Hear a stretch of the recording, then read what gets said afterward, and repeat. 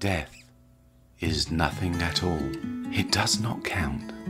I have only slipped away into the next room. Nothing has happened. Everything remains exactly as it was. I am I, and you are you.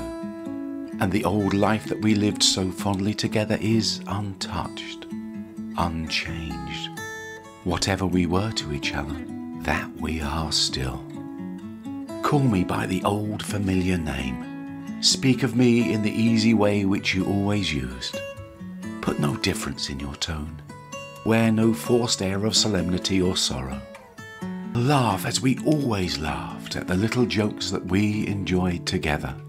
Play, smile, think of me. Pray for me. Let my name ever be the household word that it always was. Let it be spoken without an effort without the ghost of a shadow upon it. Life means all that it ever meant. It is the same as it ever was. There is absolute and unbroken continuity. What is death but a negligible accident? Why should I be out of mind because I am out of sight? I am but waiting for you for an interval, somewhere very near, just around the corner. All is well.